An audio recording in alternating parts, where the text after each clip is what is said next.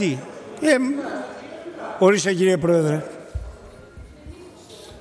Είχα αποφασίσει και έτσι είναι και το σωστό σε διάλογο που γινόταν στο συνέδριο του κόμματος αξιωματικής αντιπολίτευσης ή σε διαλόγους που γινόταν στα κανάλια αυτές τις μέρες να μην υπάρχει μια απάντηση, διότι η ουσιαστική συζήτηση γίνεται εδώ πέρα μέσα. Αφού λοιπόν ο κύριος Σταμάτης, και το σέβομαι απόλυτα, αισθάνθηκε την ανάγκη να κάνει αυτή την τοποθέτηση, είμαι υποχρεωμένος να πω, επιτρέψτε μου δύο-τρία πράγματα. Σε αναφορά με εκτιμήσεις τις οποίες έκανα σε γραπτή ομιλία και η οποία είναι στη διάθεση όλων των συναδέλφων τα πρακτικά της. Διότι άλλο είναι να μιλάμε επί μιας ομιλίας και άλλο επί της εκτίμησης ή της ε, εκδοχής μιας ομιλίας κατά πώς μας βολεύει. Πρώτον, να είναι σαφές ότι για το email χαρδούβελη που μιλήσατε κύριε Σταμάτε, το κόστος δεν είναι ένα δις, είναι ένας καινούριος μύθος αυτό.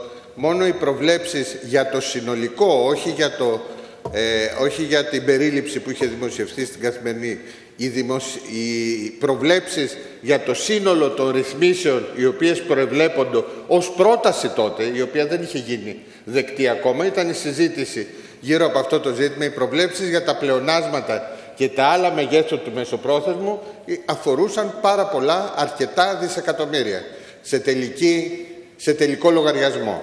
Αλλά πάμε τώρα σε σχέση με το success story. Είναι σαφές και είναι πασίγνωστο ότι αυτό το οποίο είχε εμφανιστεί ως έξοδος στις αγορές, ως το ότι θα έφευγε το Διεθνές Νομισματικό Ταμείο, ως προς το ότι θα είχαμε συγκεκριμένα μεγέθη, μεγέθυνσης κτλ. Από το καλοκαίρι κιόλας του 2014 δεν στεκόταν στα πόδια του. Δεν ήταν μόνο τα αποτελέσματα των εκλογών, των ευρωεκλογών που δίνανε μία τάση στις εξελίξεις, η ίδια η κατάσταση, η οικονομική τότε, δεν εδράζονταν σε κανένα σημείο στις προβλέψεις και στο αφήγημα το οποίο είχε διαμορφωθεί. Και αυτό ήταν σαφές και στο εξωτερικό. Τα μαθαίναμε, τα διαβάζαμε κι εμείς, όπως και εσείς.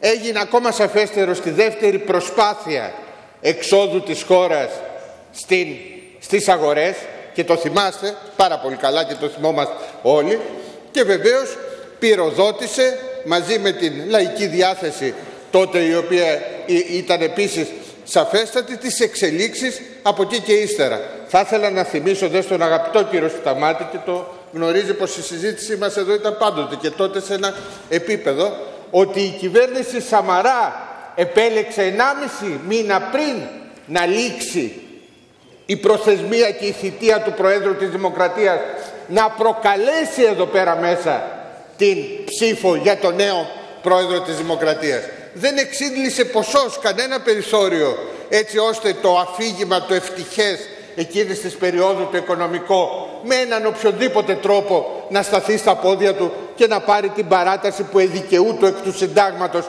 μέχρι το 16.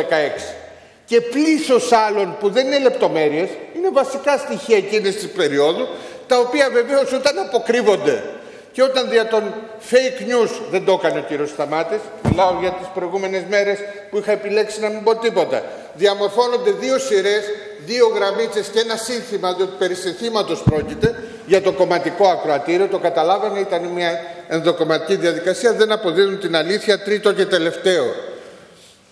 Όταν εγώ είπα και είναι μέσα στην ομιλία μου, περί δικών τους λόγους, λόγων που έχουν οι θεσμοί σε όλη αυτή τη φάση να ανέχονται, να υποστηρίζουν, να υποχρεούνται, να κινούνται στην κατεύθυνση που η κυβέρνηση δίνει ας πούμε αυτή τη μάχη, εννοούσα σαφέστατα και αναφέρεται μέσα τις εξαιρετικές οικονομικές επιτεύξεις οι οποίες έχουν υπάρξει στην ελληνική οικονομία. Είδατε τα σπρέντα ας πούμε της τελευταίας ε, περίοδου. Δηλαδή στην δυνατότητα να αποδώσει λογαριασμό η ελληνική πλευρά σε σύνολο ζητημάτων που δεν ήταν δυνατόν να αρνηθούν σε μια κατάσταση όμως και γι' αυτό είπα περί των δικών τους λόγων κύριε Σταμάτη ότι είχαν και τους δικούς τους λόγους και έχουν τους δικούς τους λόγους διότι σήμερα στην Ευρώπη, σε όλη την Ευρώπη η στρατηγική της λιτότητας βρίσκεται σε πολύ μεγάλο αδιέξοδο και γίνεται αντιπαράθεση και σύγκρουση όχι μόνο μεταξύ Βορρά και Νότου σε όλα τα κράτη και στο εσωτερικό των κρατών και η συζήτηση για το μέλλον της Ευρώπης σφραγίζεται κυριολεκτικά από το κεντρικό δίλημα συνέχιση ή όχι της στρατηγικής της λιτότητας. Και άρα όλη η συζήτηση περί Brexit, το θυμάστε προκταμίνου, κάποιος το είχε ξαναθυμηθεί στη Γερμανία, και όλα τα άλλα μέσα τα οποία χρησιμοποιούσαν οι δανειστές θεσμοί προς την πλευρά μας, είναι πλέον άσφαιρα πυρά. Αυτή λοιπόν είναι η δική τους λόγη, τα διέξοδα, ο σημερινός συσχετισμός δυνάμεων που από την πλευρά τους παρακολουθούν και εγκρίνουν αυτή την πορεία της ελληνικής οικονομίας έτσι ώστε να βγούμε και καλά θα κάνουμε να βγούμε και να επιχαίρετε κι εσείς αλλά λόγω των επιτεύξεων της ελληνικής οικονομίας και όχι για τους γερμανοτσολιαντισμούς που λέμε τώρα εδώ πέρα μέσα εντάξει λιγάκι να κρατάμε και το επίπεδο για να βγούμε τον Αύγουστο από αυτό, από αυτή την, από αυτό τον κύκλο.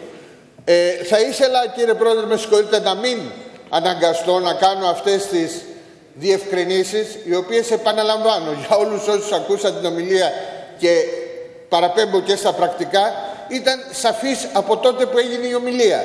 Πλην όμως το διαρρεύσαν διάστημα και ιδιαίτερα το ότι επανέρχεται σήμερα εδώ αυτό το θέμα με το συγκεκριμένο τρόπο με υποχρεώνει να διευκρινίσω απολύτως όχι απλά τι εννοώ εγώ έτσι, αλλά και το τι συνέβη εκείνη την περίοδο. Ένας διάλογος δε και για λεπτομέρειες εκείνης της περίοδου πώς φτάσαμε θα ήταν πάρα πολύ χρήσιμος αλλά όχι επικοδομητικός σε αυτή τη φάση που βρισκόμαστε πια μπροστά στην τελική ευθεία. Ευχαριστώ. Κύριε